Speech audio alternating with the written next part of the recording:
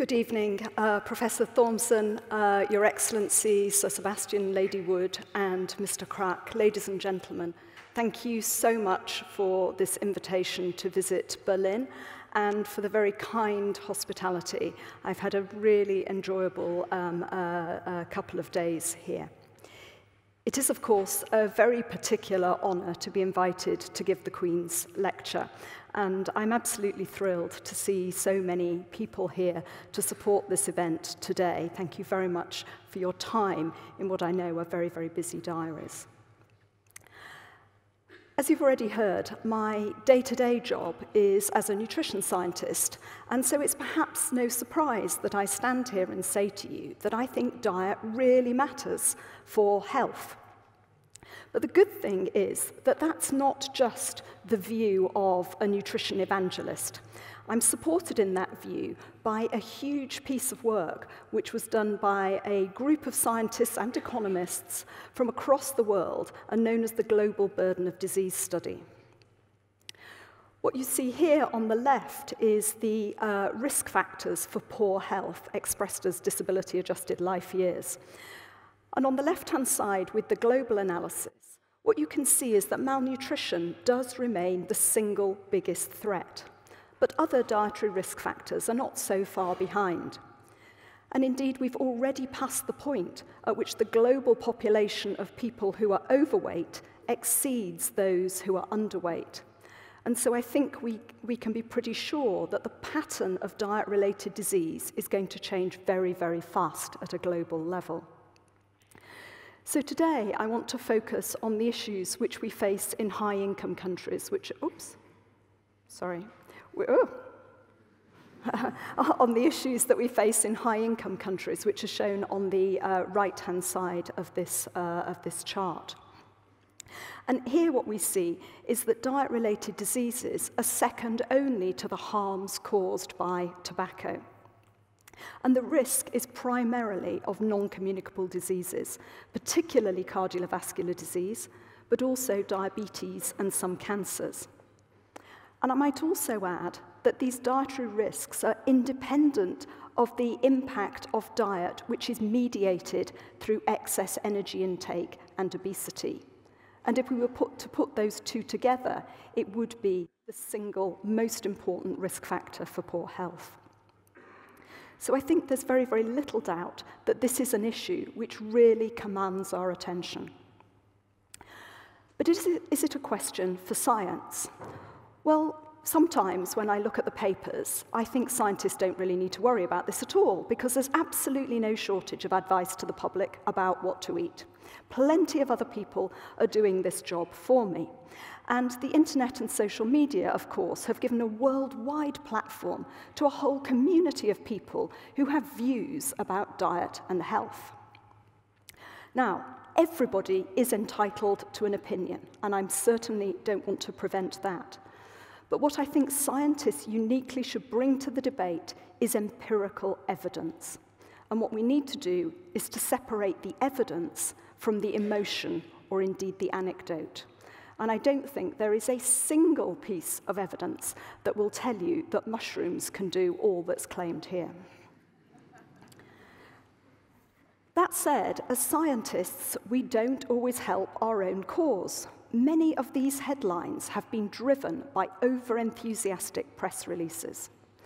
And the problem is that the public feel battered by inconsistent information. And this is not harmless. It fuels mistrust in science. And for those people who are ambivalent about dietary change, and let's face it, most of us are, if you see this kind of diversity of views, what happens is it can encourage you to avoid taking any action at all today. Because, as I've heard so many times, not least from my own family, we will wait until the scientists can agree. So this is a huge, huge problem for us in trying to get evidence-based um, information into both policy and practice. So let me turn now and have a look and try and strip out the emotion and just look at what the scientific evidence tells us about the principal dietary risk factors. Which parts of our diet should we be concerned about? Well, this is data from the UK, which is extracted from that global burden of disease study I mentioned earlier. And I think much of this will be very unsurprising. We eat too little fruit and vegetables, too little fish, too little dietary fibre, and we eat too much sodium or, or salt as it occurs mostly, and too much red and processed meat. So far, no surprises. But notice at the top of the list, we have diets low in whole grain. So that implies we need to eat more carbohydrate, the fiber rich types of carbohydrates. And that doesn't sit very easily with the prevailing media view that actually low carb diets are where it's at. Meanwhile, sugar sweetened beverages are at the bottom of the list. And sugar more generally doesn't feature as a risk factor at all. Now, I'm certainly not here to let sugar off the hook, but I will argue that it's just one of the dietary issues that we need to address to improve health and that a unique focus on sugar might actually distract us from some of the other important issues that we need to consider. Suggesting that sugar isn't uniquely harmful is not always a popular position at the present time. And that leads me to another example of what I think is, is some of the emotion which is really besetting nutrition science. In 2015, I, along with many other scientists, were pilloried in the BMJ as being partial to the sugar industry. This article provided no evidence at all of that, but there was considerable insinuation, and subsequent media coverage went quite a lot further.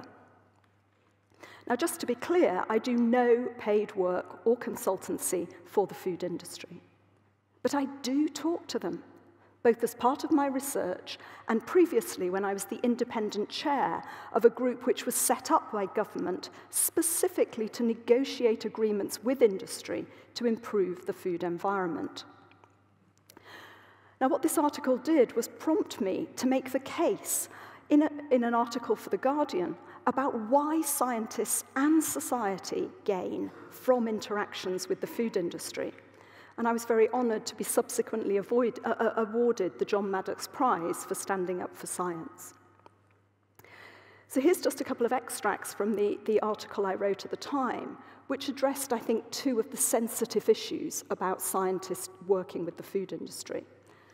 The first is on the issue of advice. Now, I think we need to recognise that governments urge scientists to use their expertise to benefit the economy and that will often be through supporting private enterprise. In my case, that means taking the challenge of obesity and diet related disease right to the boardroom to demonstrate to food businesses why good nutrition needs is so important and why business as usual isn't an option. And they need to change some of their production and marketing practices in order to become part of the solution. Advising companies doesn't necessarily mean agreeing with companies all of the time.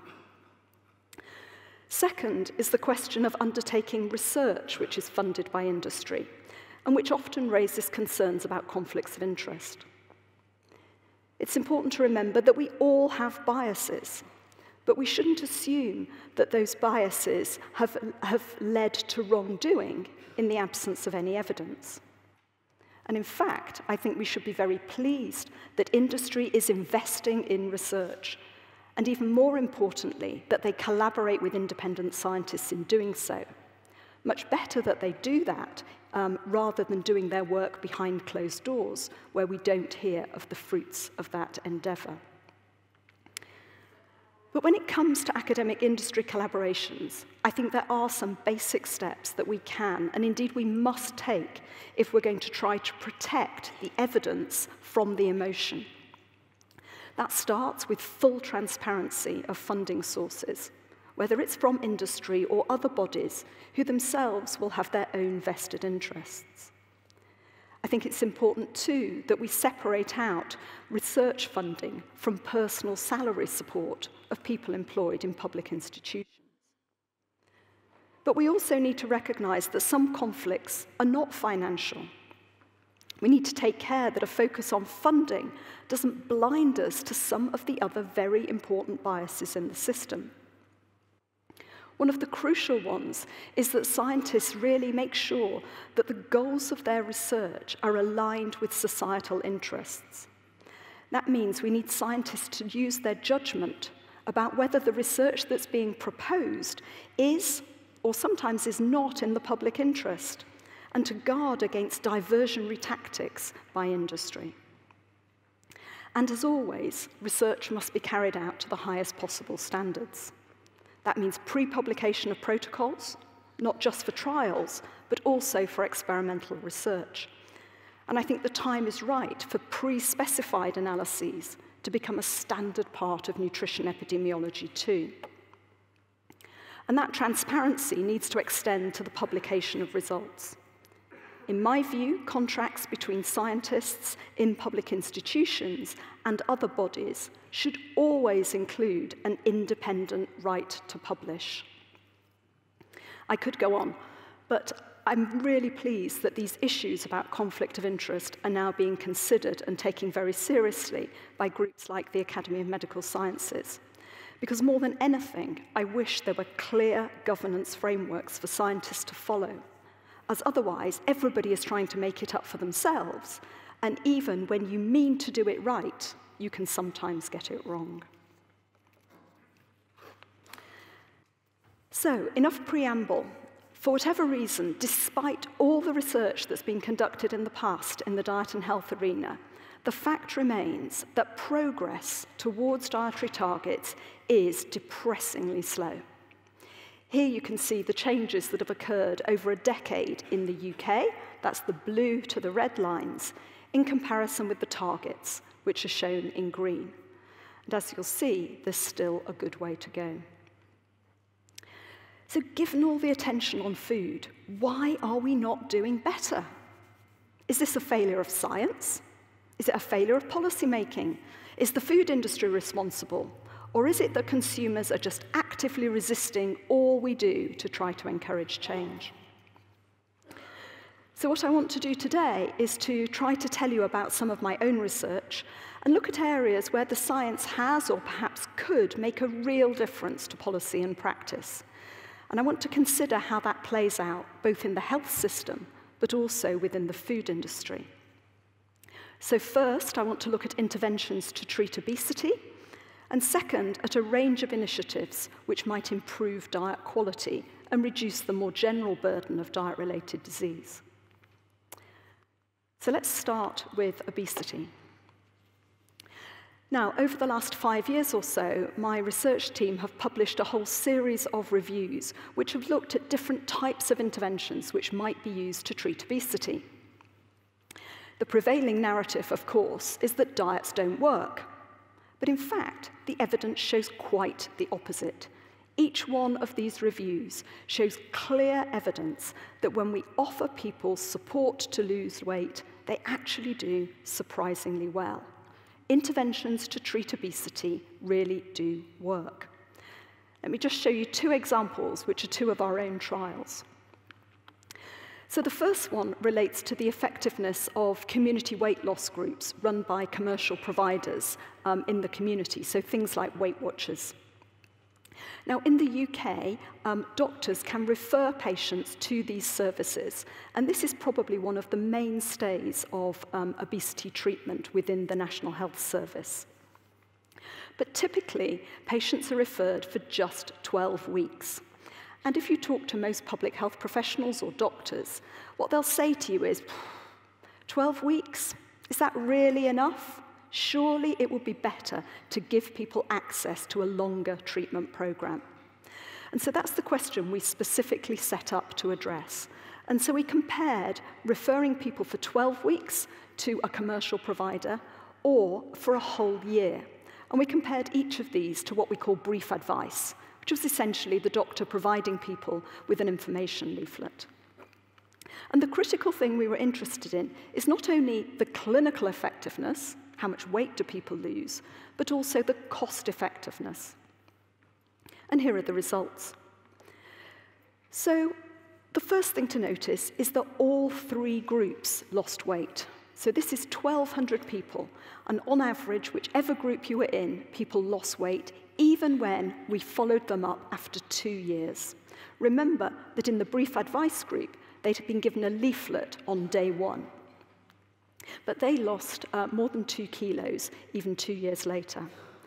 The people who were referred to the provider lost more weight. And, as you might expect, the longer intervention led to greater weight loss almost seven kilograms at one year and still four kilos two years later. So, for most practitioners, this conclusion seemed pretty obvious longer is better. But the key question that policymakers wanted me to answer is which is the best value for money? So here we see the cost effectiveness analysis. And what we've done here is to model the impact over 25 years using established long-term health models. Because, of course, we treat obesity today with all the costs that that entails in order to prevent other diseases occurring further down the line. So you need to take that longer term perspective. And by the way, in these analyses, we assume that people continue to regain weight and that by five years they're back to their baseline. So we're trying to make a pretty conservative estimate. We're not pretending that this will cure obesity forever. But what you see in the hatched bars is the cost of the intervention. So unsurprisingly, the longer treatment costs more. What you see in the white bars is the cost savings that we project will be um, recouped over time because of fewer cases of diabetes, high blood pressure, and so forth. And if we then combine the two, you can see the net effect shown in the solid blue bar. What's clear is that if we take a 25 year time horizon, actually offering people a 12 week program is actually cost saving Hardly anything we do in health is actually cost saving, but this really could be. In contrast, the longer program, although it is better for individuals, is not better for society as a whole. It's more expensive. And so the answer for policymakers is it's better to take a fixed pot of money and use it to treat more people with a shorter, cheaper intervention than to uh, narrow it down to just a few individuals treated for longer. Now, the cost savings, as I've mentioned, primarily come from population level reductions in cardiovascular disease risk. But if you're a patient or indeed a clinician, the benefits at an individual level can seem rather small. So these are the sort of benefits you can expect to achieve if you lose just 10% of your body weight. So we're talking about maybe the impact of about half a tablet to treat blood pressure. And that's not the kind of thing which is going to make most doctors, you know, jump up in, uh, in great excitement. And so we've been trying to look for more effective interventions. So I want to tell you about a second trial which we published quite recently in the British Medical Journal. And here we tested something called a total diet replacement program. So this is a diet which is based on specially formulated and nutritionally complete soups, shakes and bars. And we ask people to go on this regimen in place of their usual food for around about eight weeks. And after that, they have, well, during that time and afterwards, they have individual counseling in order to, firstly, motivate them to stick to the diet, and secondly, to help them back into regular eating and hopefully to establish a healthier eating pattern after a period of time away when they've hopefully broken some old habits. So, in this trial, we looked at the effectiveness of these programs for the routine treatment of obesity. If people who were overweight came to see their doctor, would this be a reasonable treatment to offer? And to be honest, what we were most concerned about is that the rigor of this intervention might mean it was unacceptable to many, many people. But in fact, what we saw is a phenomenal result. So the weight losses, and this is done on what we call an intention to treat basis, so it's the average of absolutely everybody who was randomized to that treatment, whether they attended the program or not, showed that typically people lost 10.7 kilograms at one year. And again, remember that the diet itself finished much earlier. It was only an eight week program with four weeks in which we reintroduced normal food. And that weight loss was more than seven kilograms greater than we saw in usual care. That's referring people to a practice nurse. Perhaps even more interestingly, if you look down at the bottom, what you can see is that 45% of people in the total diet replacement arm lost more than 10% of their initial body weight. And this kind of program, although it is more expensive than something like Weight Watchers, is still highly cost effective by the usual standards we apply for treatment within the NHS. And if I put this result into a more clinical context, this is another paper which was published shortly before ours, which used a very, very similar type of diet, but this time specifically for people who already had type 2 diabetes. What they saw here is very similar weight losses, 10 kilos at one year. And of all the people randomized to this treatment, 45% were free of their diabetes at one year. They were in remission. If you look in more detail at the relationship between weight loss and diabetes remission, it's really quite remarkable.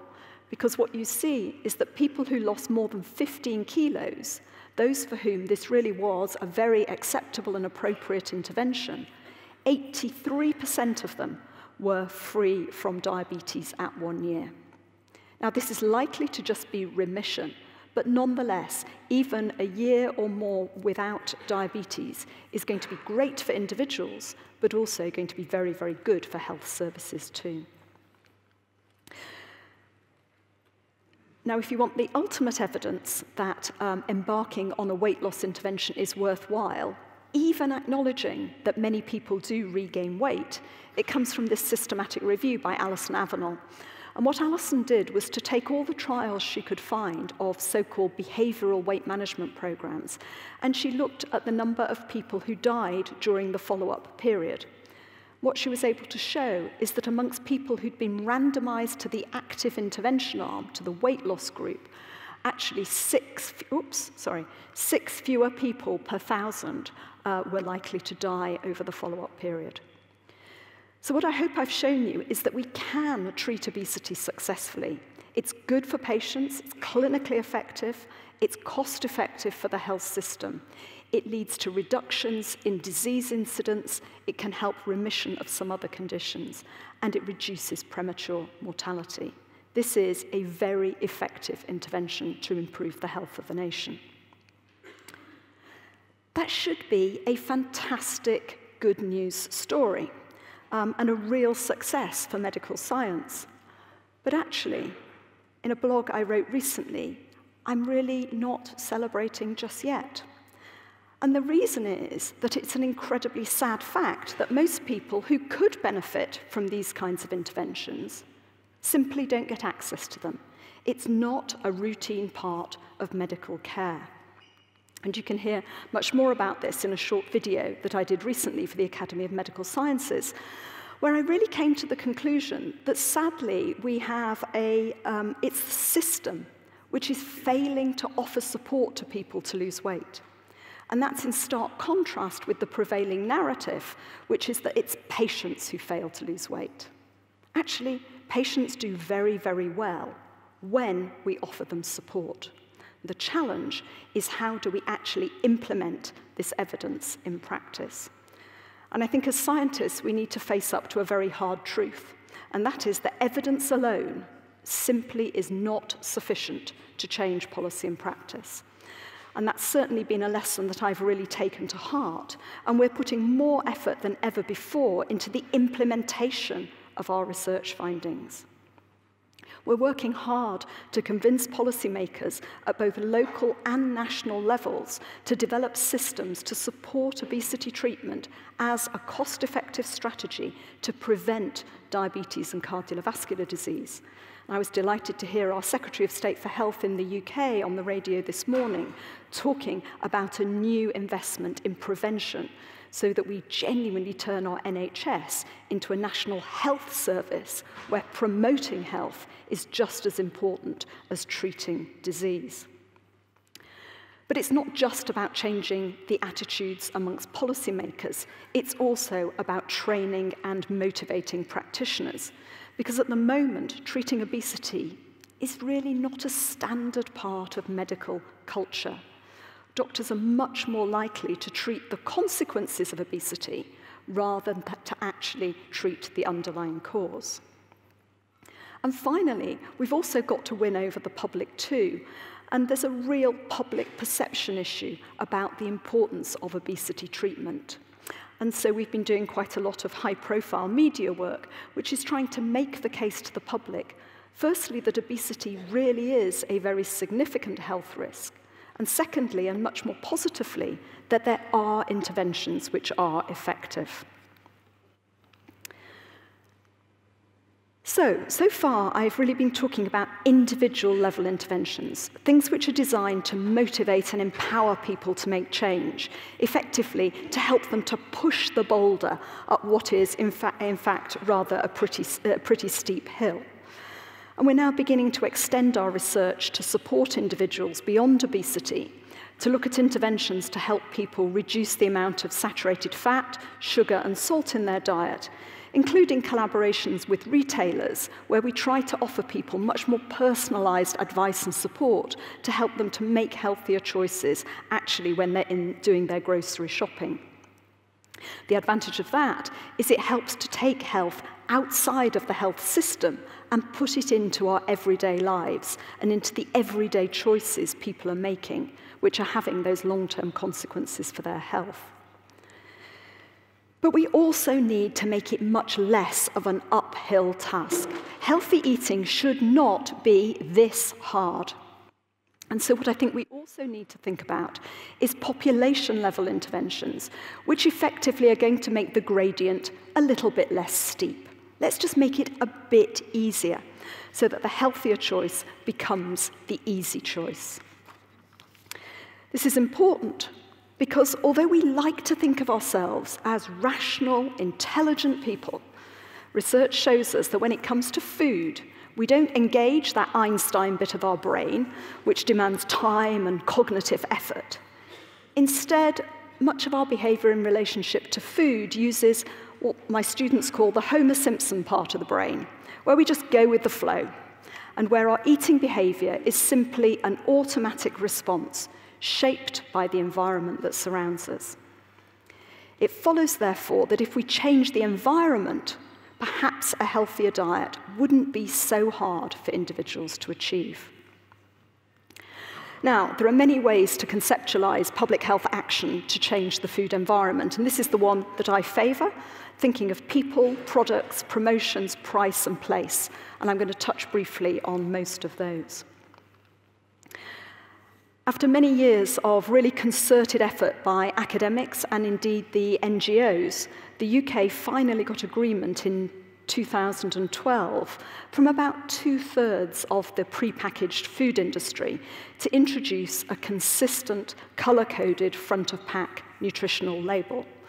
Now, this hasn't proved quite so popular with all of our European neighbours, but nonetheless, it's a system which is working, I think, very well in the UK now. And what we've seen more recently is government announced proposals for mandatory calorie labelling on menus so that we start to address the food that people consume outside the home as well. And I'd like to think that that effort has been stimulated in part by our recent Cochrane review. So, this was a big systematic review which tried to synthesize all of the available evidence. To what extent calorie labeling on menus actually changed what people eat. Because frankly, there's no point investing a whole load of political capital in moving forward with something like this if we don't think it's going to have the desired effect.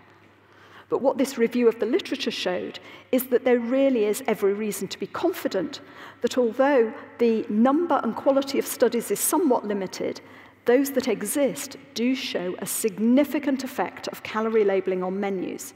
Indeed, if the evidence which is collected mostly in the laboratory transfers into the field, we might expect a reduction in the energy content of food purchases of about 8%. Turning now to products, we know both from hard evidence but also from our own experience that portion sizes have increased over time. And I was very struck by this example of even just the increase in the size, in the size of slices of bread, which if that was to, you know, if we were all to have two slices of bread every day, we'd get an extra 7,000 calories a year. We've conducted another Cochrane review to examine the impact that increases in portion size have on the amount of energy that people consume. I don't expect you to read the detail, but you can see that a lot of scientists have been very busy studying this because there's a great many studies. And when we look at those, what we conclude is that smaller portions could reduce the amount of energy consumed by up to as much as 16% for adults. Now, that figure came from comparing two different sizes of food which had been offered in experimental situations. But when we did the review, I was very struck by the fact that most of the portions were on the large to very large size, rather than genuinely looking what would happen if people were offered smaller portions, genuinely smaller portions. Because, of course, the risk is you might have less at that meal, but maybe you would just compensate and eat more later. And so, to try to address that very specific question, we set up a research study to examine that, which was done by one of my PhD students, Hannah Lewis. So, we brought people into the laboratory on three occasions, and they had a breakfast of varying size. And what we then did was to keep them in the lab for the rest of the day, distracted by a whole series of other small tasks. Um, and what we were doing was covertly measuring how much food they ate over the course of the day. And you see the results here. So what we have at the bottom is how much they ate in their evening meal, and this is how much they ate in their lunch meal. What you can see, regardless of which day they came in, this was basically the same. And so the effect of the intervention, which had been breakfast of three different sizes, persisted throughout the whole day. So on the day where we gave them a very small breakfast, they didn't make up for it later on. They ate the same lunch after a small breakfast as they ate after a large breakfast. And so these smaller portion sizes at breakfast actually produced a day long reduction in energy intake, suggesting that if we were to systematically reduce the sizes of portions of food, we would get a, an impact on overall consumption. And I'm pleased to say that we have seen industry start to take action on portion size. For example, as part of the um, um, network that I mentioned earlier, the Responsibility Deal Food Network, where we were negotiating um, agreements with business to improve the food environment, the main chocolate manufacturers in the UK came together and agreed to have a 250 calorie cap on individual servings of confectionery. And there has, without doubt, been a notable downsizing of bars of chocolate in the UK. And we've seen it in some other brands too. But the problem is that this is not publicly all that acceptable, and there has been a very significant uh, backlash, although it is often short lived. But for the most part, people are somewhat averse to being offered smaller portions.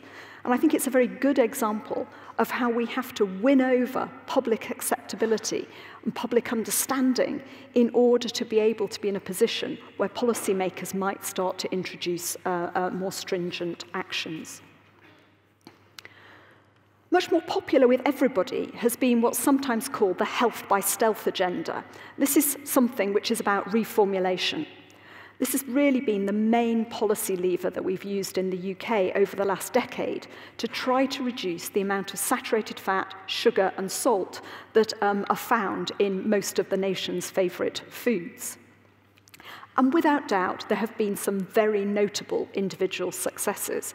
And this has been a purely voluntary scheme. But we've seen reductions in the amount of salt in bread and in many breakfast cereals by over 50%. And in some cases now, we're seeing reductions in, in sugar and in saturated fat. So the example from Walker's, for instance, came from them making a company-wide decision to change the type of oil in which they fried their crisps. And that brought about an, an 85% reduction in the amount of saturated fat in, in crisps. Huge population level, level gains. But it's all very well to think of these individual products, but what we need to know is what's happening to the overall category. And so I want to take a closer look at sugar, which has been so much in the news of late. Oops. So in 2016, Public Health England, our uh, public health agency, set specific targets for the food industry to reduce the amount of sugar in 10 categories, which if you put them together represent about a quarter of all the sugar in children's diets. And they set a goal to reduce it by 5% in the first year, leading towards a 20% reduction by 2020.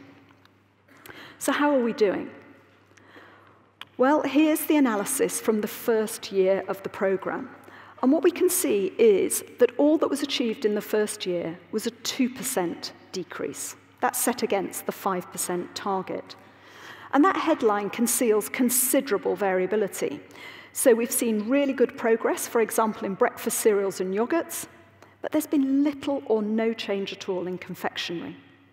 So we may have smaller bars, and indeed chocolate is down slightly, but there's been an explosion of sweets, including sharing bags and sweets in so many different shops.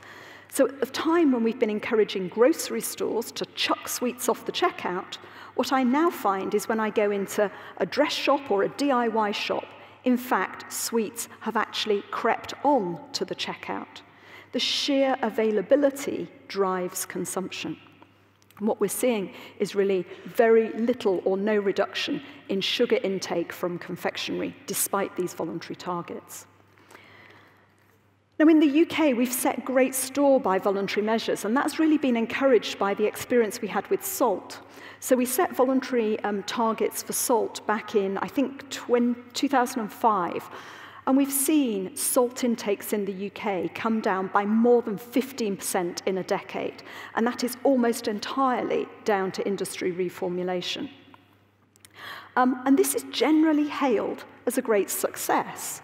But on the other hand, some of my public health colleagues will say, but mandation would have been better. What if we hadn't set a voluntary target, an aspirational target? What if government had insisted and mandated that industry reduced the salt in its products? Would we have been better off? And the question for scientists, I think, is how can we know? Whether it's uh, mandatory or uh, whether it's voluntary or regulatory, monitoring and evaluation is going to be absolutely crucial to know how successful have these policies been.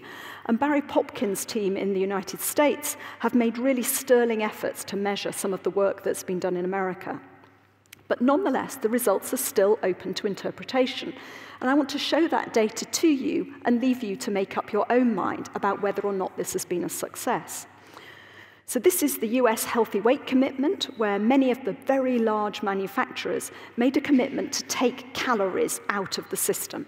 Calories, after all, are what are fueling the rise in obesity. So they committed to reduce their calorie footprint. And so what you see here at first sight, I think, looks very positive indeed. There was an 87 calorie per day reduction in the calories purchased from grocery stores, and the bulk of that, as you see at the bottom, was from companies which had signed up to this healthy weight commitment. So far, so good. But what's the counterfactual?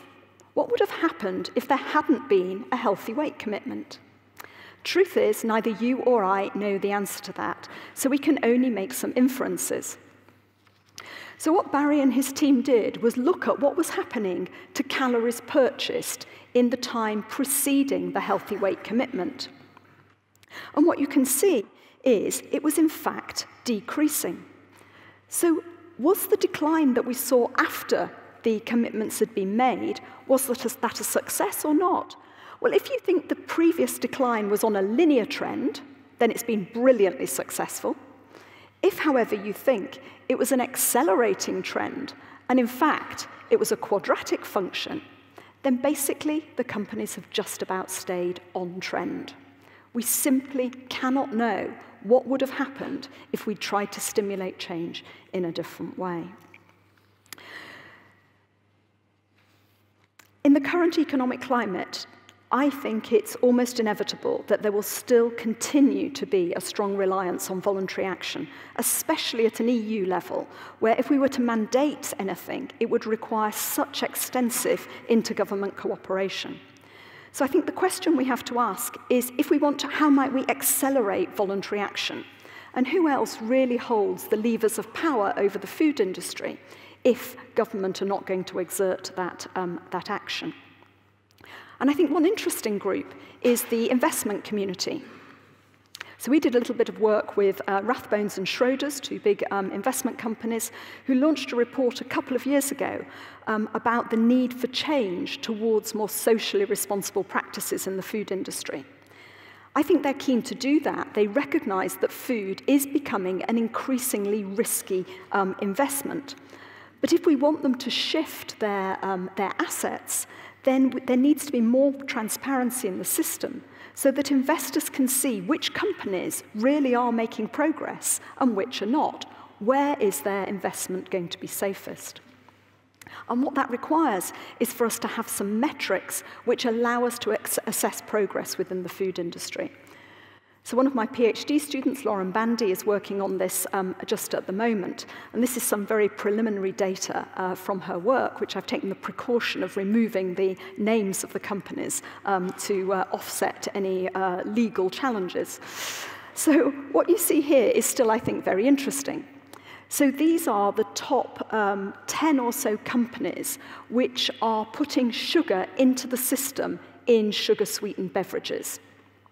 What you can instantly see is that the, the biggest manufacturer, who's putting the most sugar into the system, over the last couple of years has made an 8% decrease in the amount of sugar in their overall products, whereas the next biggest manufacturer has made a 19% decrease. And we produced this data by combining information on the nutritional composition of their products with sales data. We can also look about how the retailers are doing. And what you see is our two biggest retailers have both achieved reductions of more than 40% in the amount of sugar that they are selling in sugary drinks. In some cases, it's because they've withdrawn own brands which contain sugar. In contrast, another retailer over here has actually experienced no change whatsoever. And so you can quickly see that we can start to begin to put some discrimination in the system and that this information could be used either by investors or by governments to incentivize the most progressive or to, um, or to um, uh, chivvy up or penalize the laggards. And we're now using a very similar methodology to look at a whole range of different products so we can really understand the whole of a company's portfolio. I've talked a lot about voluntary, but I think we shouldn't lose sight of the fact that it's never going to be a case of voluntary or mandatory. There probably is a place for both of these, depending on what is the specific action you're looking for. The carrot of incentivizing change through voluntary mechanisms, or the stick of mandating change through regulation. And I think we may well find that carrots taste a whole lot sweeter when they're offered by somebody who's carrying a very large stick. So what are the elements of a successful regulatory policy? You know, very often when I do talks, people say, government should do something. But actually, if you put yourself in the seat of a policymaker, it becomes much, much harder to write the detail of that legislation, of what exactly is it that we want that policy to say. And so um, what I think we need to remember is that if you, want to, if you want regulatory action, what you have to have is political courage to enact it. And that's not always easy, particularly because you have to take public opinion with you. Then you've got to set stretching targets. There's no point having, having a mandatory system if, in fact, the targets are rather weak. You need to monitor progress, and crucially, you've got to be prepared to take action if the targets are not met because otherwise, when you come to do this the next time, you'll find that you can't generate the same sort of traction in the system. It is, I think, quite difficult to identify those areas where mandation might be used, but there are a few where I think it could be effective. Essentially, labeling, promotions, of course, fiscal interventions are always going to have to be done through legislative means. But there's also, I think, opportunities around the control of food procurement or provision in public settings. And uh, we heard Sir Sebastian mention earlier about the work that's been done on school food.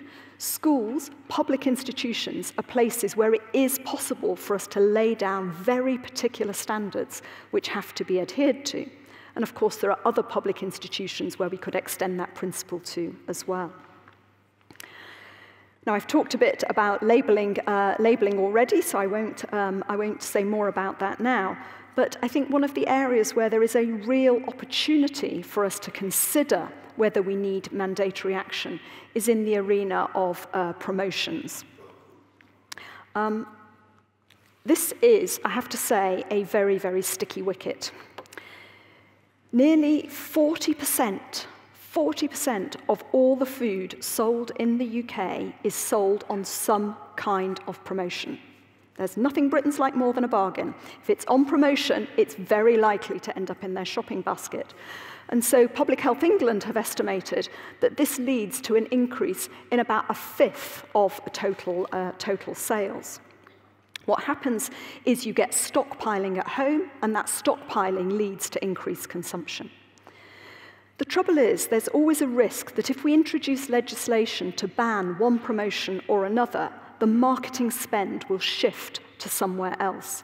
So if we ban multi-buys, buy one, get one free, what we might well see is an increase in temporary price reductions, which will drive sales in a different way. And so whilst the food marketeers have a lot of evidence about what changes consumer behaviour, actually in the public health community, we don't know nearly so much. So it's very difficult at the moment for us to advise policymakers about what might be the most effective ways to change the promotional landscape. So we've started to take a particular interest in this area, and one thing we've looked at is the impact of positioning in store. So we've been looking at the end of aisle, so sometimes called the gondola end, uh, which is a prime marketing spot in the supermarket because more people go past that spot and because very often you get a single item on that display, so it, it's eye-catching. What we've shown in this analysis, which I won't talk about in, in detail, is that, in fact, if you put uh, beverages on the end of an aisle, you get a marked uplift in sales. So for carbonated drinks, putting it on the end of the aisle increases purchases by more than 50%. That's the same effect as you would get if you dropped the price by more than 20%. So positioning is an absolutely crucial component and it's an area where, in theory, we could see legislation introduced to restrict sales of unhealthy foods in prime sites in, in grocery stores. Finally, let me just finish with what I think is turning into a real public health success story. And again, we heard a little of this earlier, and that's the issue of taxing sugary drinks. I think the scientific case is now very clearly made that sugary drinks harm health. They increase energy intake and the risk of obesity and diabetes, and they damage teeth. So fiscal measures have now been introduced in more than 28 countries around the world. And as we've heard in the UK, um, there was a, a soft drink industry levy announced in the budget in 2016, which came into effect in April this year. I think rather cleverly, this is actually a tiered levy, and it's a levy which is applied on business.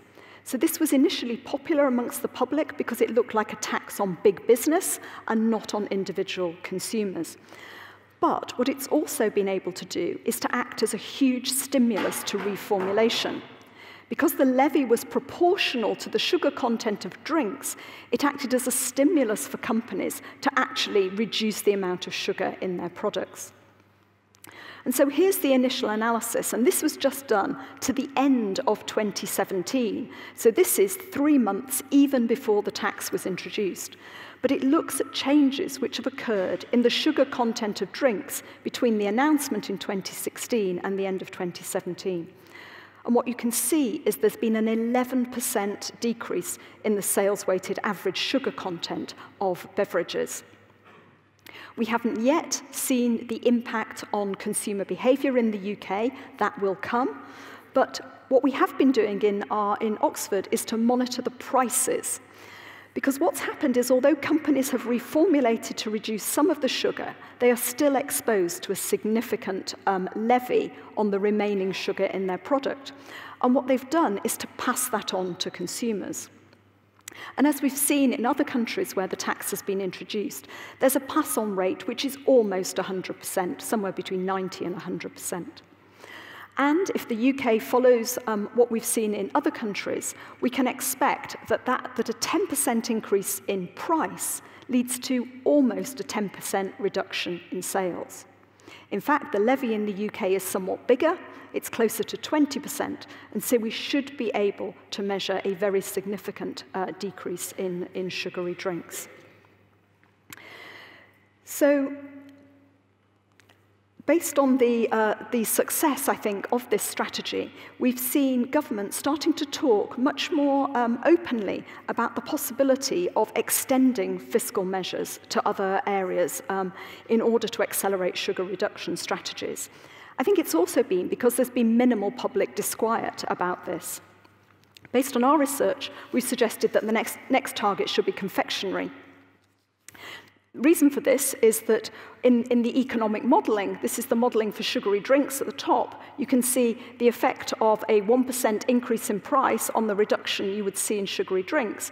And here at the bottom, you see a similar model of what if we put up the price of confectionery by 1%. You get an almost, uh, almost exactly the same reduction in purchases as we would see for sugary drinks. The real win, though, comes from the fact that people get three times as much sugar from confectionery as they do from sugary drinks. So the effect is the same, but it's on a three times bigger, bigger category.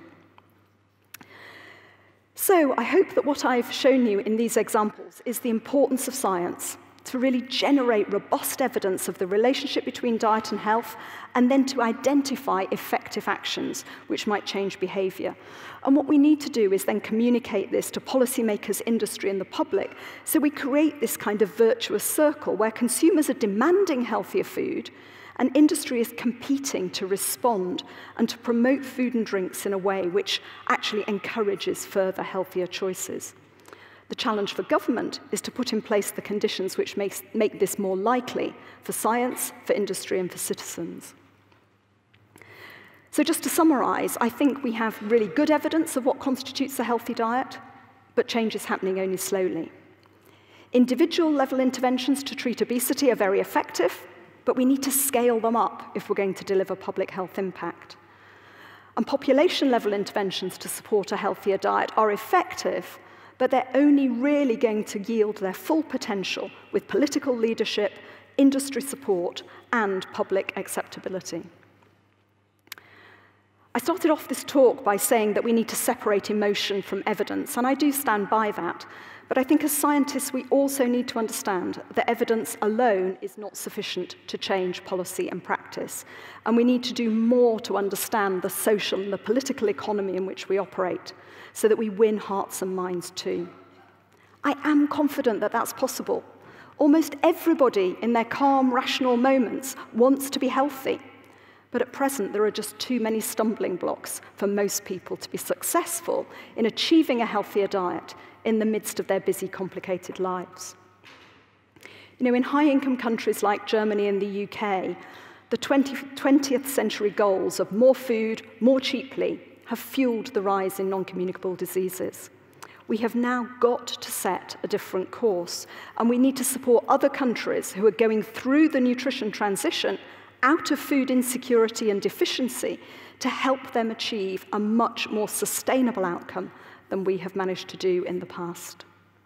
So, on that note, thank you to all the people who fund our research, to the home team back in Oxford, and absolutely to all of you for your attention this evening. Thank you.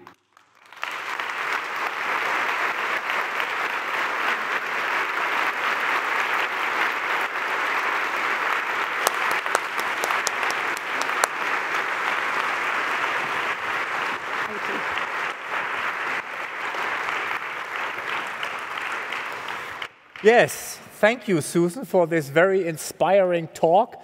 And I think at least you won our hearts here. So this was a good promotion of your last slide. And we saw very interesting figures on both the individual treatment and the population system based interventions. But this is now the time for the auditorium to maybe, you know, there's some specific questions, maybe also on transferability to Germany or some other examples. Don't give a second speech, please, but come up with sharp and witty questions. We have microphones in the room, and so it's a bit difficult to see you from here, but please raise your hands so that I can see you and somebody's coming with a microphone. I think there's a lady uh, in the front here. Where? Where you? You see? Oh, is, is there some over there? No? Oh, no, I thought there was somebody. Back there, okay. back there, yes. Person standing up, waving. Yes, please. It's very hard to see here. Yeah, it's totally difficult to see. Hello, and thank you.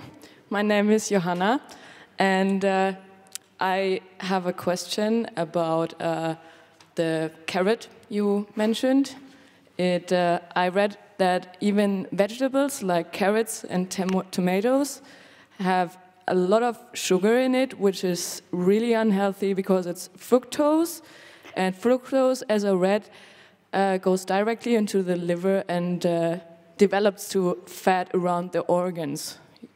And my question is don't you think that even vegetables and fruits nowadays are as unhealthy as all the other things you mentioned? And Another question would be don't you think that especially poor people would suffer because 90% of what you get in a supermarket is full of sugar? So, uh, Carrot, you know, carrots and fruits, yes, they do contain sugar, but quantitatively it is very, very small indeed compared to the much more concentrated sugar that we see, which is added to foods.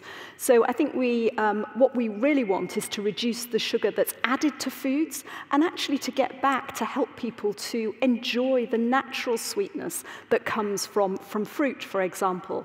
So, Uh, you know, we have to really think about quantitatively where, where is the problem. And people are mostly, you know, I'm not worried about people eating too many carrots, but I am worried about them eating too much confectionery. And do you want to say something, Susan, about that, that, the, that the artificial fructose is different than the fructose right from the carrots? Uh, no. okay. Um, that would be a long story. okay. Uh, anybody else? Please. There was a, yes here in front. So thank you also for the presentation. It was very interesting. Um, what I am wondering is um, when industrial follows the call to reduce the critical values in their products, is there any monitoring how they do it? So what I'm wondering is when I have this three colors on the food and industry will do everything probably to have a lot of green in there. So reduce sugar but put a lot of sweetener in there. Are there any studies about this? So, so this is exactly the reason why monitoring is so important. Um, so firstly, we have to think very hard about the framework in which we um, ask industry to operate, because they are generally pretty good in sticking to, to, the, to the rules. If this is what we say we want, that's what they will try, try to deliver. So we need to be clear about what the ask is, what's allowed and what's not allowed. Then we need to monitor what's actually happening. Now, the issue um, in particular is that, that you raised is around um, uh, artificial sweeteners, for example. So oh, we know that that's a good way of reducing the amount of sugar, so it reduces calories. Um, so that's, that's important, that's a, a, real step forward. Of course, the challenge is that it still um, retains the sweetness, and so it continues to reinforce preferences for, for sweet foods. So it's what I think we, we might consider as a harm reduction strategy. It's a great deal better than having uh, a full sugar product. But if we take the example of beverages, for example, it's better to move from a full sugar beverage to um, a, uh, a sweetened, uh, an artificially sweetened beverage. But if you're already drinking water, then for sure don't trade up. Thank you. We now move over, over here. Yes, please. Hi, I find your whole presentation really interesting, and I have two questions. The first one, um, it seems to me like um, the overall caloric reduction is very important. Just in general, this whole caloric reduction. I wonder if there is any individual differences. Maybe some people react better to this kind of diet than others. And I think I read a Guardian article which suggests that, you know, dietary changes do not affect people in the same way? So that's my first question. And my second question would be, um, it seems to me that you don't really see that sugar is such a big evil that it sets out to be. And I'm, I'm not too sure about that because um, the thing is, I read this article about how high fructose corn syrup, the invention of high fructose corn syrup, I think about 30 or 40 years ago, is coincides with this you know, increase in obesity that we see today. Yep. And there's a lot of hidden sugars in many things. For example, yogurt. We don't think of yogurt as something yep. that's you know, with a lot of sugar, but there is a lot of sugar in there. So okay. I, I, really want to know what is your opinion on these okay. two issues. Yep. So you're absolutely right. In terms of obesity, calories are really the important thing. And so what we have to do is achieve a net reduction in calories. And we can do that by reducing sugar, we can do it by reducing uh, fat, we can do it just by reducing portion size. We've just got to get people to consume less. Now, clearly, some calories have nutritional benefits to them. You know, the calories in fruit and vegetables come with lots of positive nutrition. The calories that come from sugar bring calories and nothing more. So, in a world where we're trying to reduce calories, it makes absolute sense to reduce those foods which are calories and, and nothing else. I really don't want people to go away thinking that sugar is fine. Sugar is absolutely not fine. We're eating far too much sugar.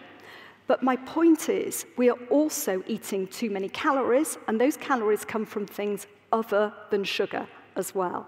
So let's not get so obsessed with just one thing that we forget the bigger picture. In fact, when people are eating foods, they don't really eat just sugar. Okay, sugary drinks are just sugar, but everything else is a mixture. Biscuits, cakes, chocolate, confectionery, that's fat, and it's sugar, and, and it's other kinds of carbohydrate too. So let's be realistic that there are some foods we want people to eat less of and that will help us to reduce fat, sugar, and calories. Um, and I think it's much better to focus on that rather than on individual nutrients. Now, the issue of high fructose corn syrup's come up a couple of times, so let me specifically address that. So high fructose corn syrup used extensively in the United States, and lots of people point to the ecological, um, the, to, the, to the trends as, as consumption went up, so did obesity. But actually, obesity went up as sales of, uh, you know, trainers went up. These kinds of ecological analyses are incredibly weak because so many other things have happened. High fructose corn syrup contains 55% fructose. Sucrose, regular sucrose, regular sugar, contains 50% fructose. So there really is only a marginal difference between high fructose corn syrup and sugar. This is mostly an issue about added sugar, because actually we consume far more added sugar than we do high fructose corn syrup. And I think there's very little evidence that high fructose corn syrup has effects over and above sugar. Um, it's, uh, you know, you have to, fructose does, does impact on the liver, but only when it's given at levels which greatly exceed what people are, are typically consuming. Um, this is an issue of total calories, and, it, and too many calories leads to obesity, which leads to insulin resistance. And that's really um, at the heart of this whole problem. We have one question here. Yeah, I, I, wonder if you could maybe contextualize the importance of uh, food consumption in relation to other forms of battling obesity. I'm talking about lifestyles, the way we work, the way we sure. move through the city, uh, the, where we live, and, and all this. Thank you. So you're absolutely right. Obesity is about more than, more than just diet. I think I was, in the part of my talk when I was talking about obesity, it was mostly about treatment. And we know that when it comes to treatment, the dietary change is absolutely the cornerstone. Increasing physical activity will bring additional benefits, and of course, metabolically, it's very, very helpful. But in terms of losing weight, diet, diet's crucial. If we think about broader prevention, so the primary prevention of obesity, then physical activity and diet are both, are both really critical elements. One of the reasons why we are so likely now to overconsume calories is because our energy expenditure has plummeted to incredibly low levels.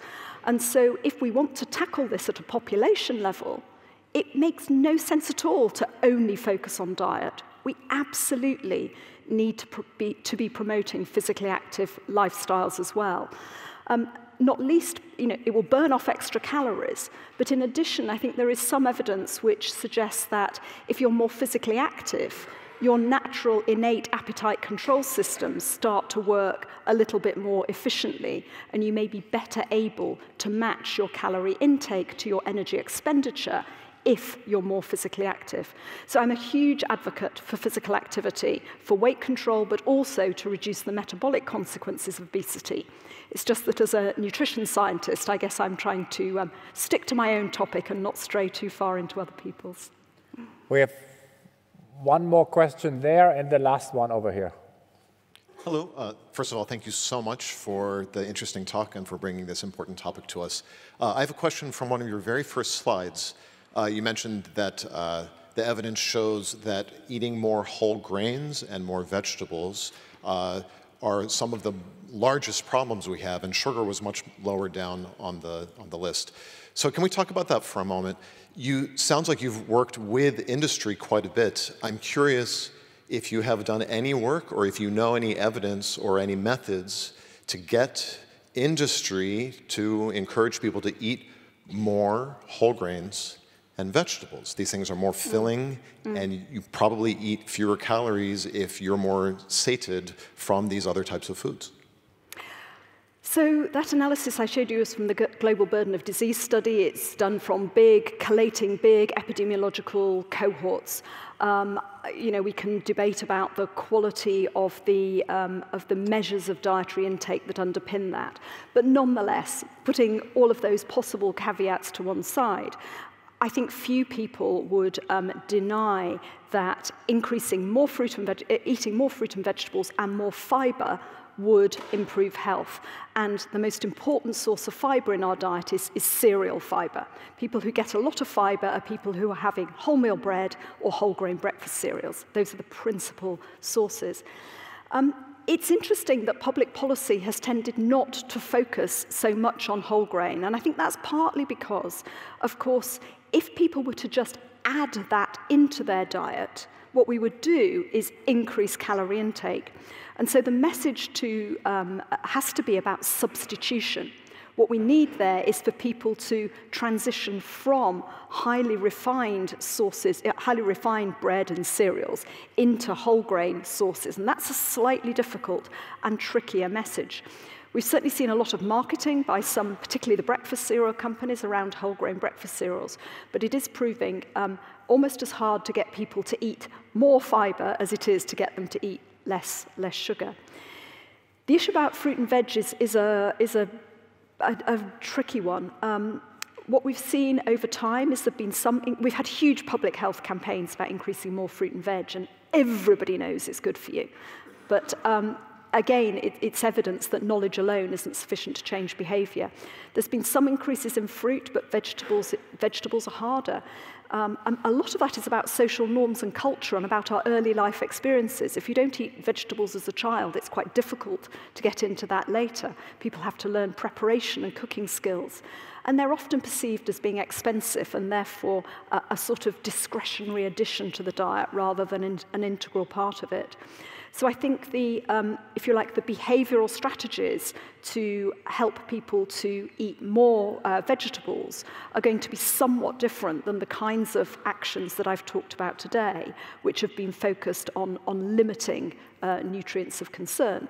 But nonetheless, one could still approach it, the problem, in a similar kind of framework what do we need to do for people, products, promotions, places, and so forth.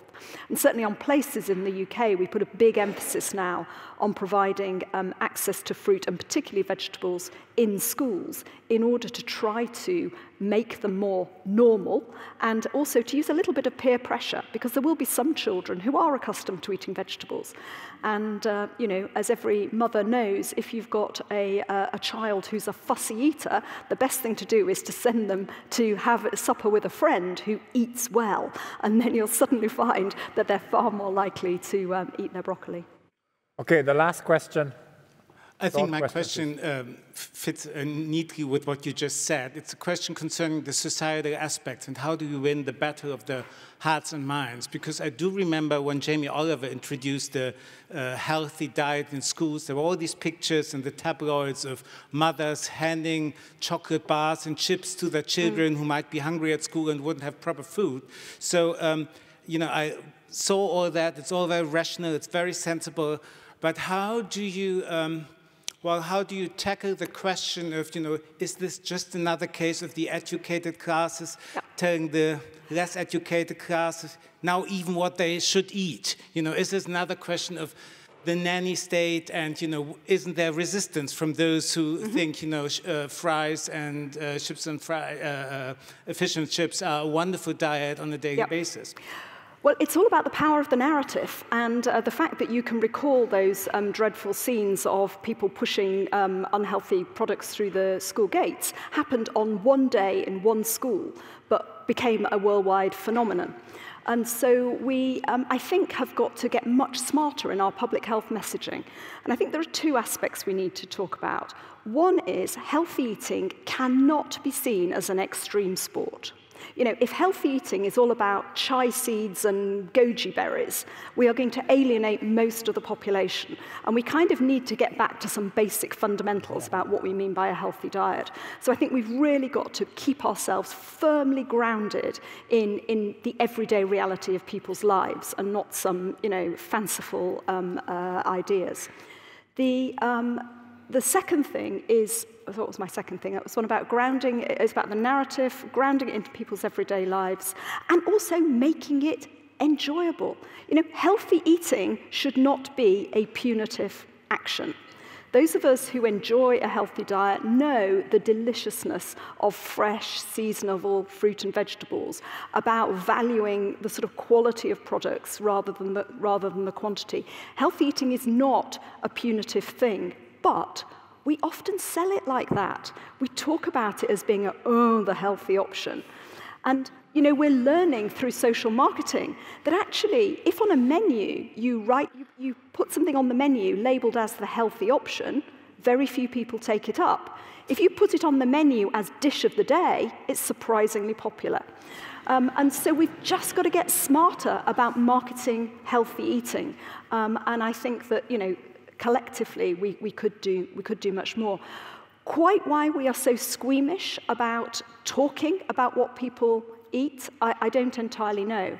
Um, you know, we, we've got to a point now where governments feel it's fine to tell people they can't have a plastic straw. I, it's not that I want to, you know, defend plastic straws, but, but, but government feels that's perfectly reasonable for them to intervene in that. Actually, is it not also reasonable to intervene in people's food choices, at least in offering um, you know, advice uh, uh, about a healthy diet? I don't see why that is a nanny state when so much of everything else government does, which is to um, frame the way we live our lives, is apparently okay. So, um, yeah, I think we can do it, but we've got to change the, the narrative. Susan, thanks again for these great answers to the great questions. And I hand back to our president.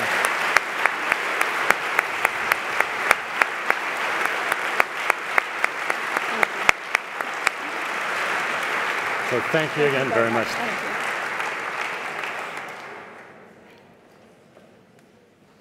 Thank you for your excellent talk, and I appreciate in particular the policy-making aspect that you introduced us. We have an Urkunde um, to give to Professor Susan Jebb. I forgot the English word, I'm sorry. Um, it's about the Queen's lecture, yes, um, and it's the title of your lecture, and we thank you very much for thank having you. this lecture. Thank you very much indeed.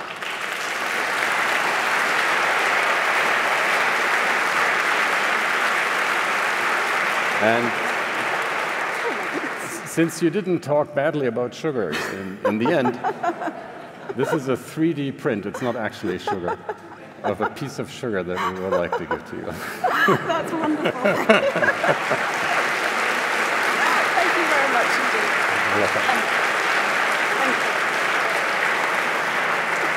And finally, like if, if I may ask the ambassador to come up to the stage once more. We have a small present for you, oh, which goodness. is, it's actually a print from the Palais Strousberg. And if I'm correct, the British Embassy moved into this palais in 1876. Is that correct? Yes. So we thought this is from our collection, from our um, architecture print collection, wow. which is quite famous, to give you one if you're strong enough to hold it. It's heavy. it's very generous.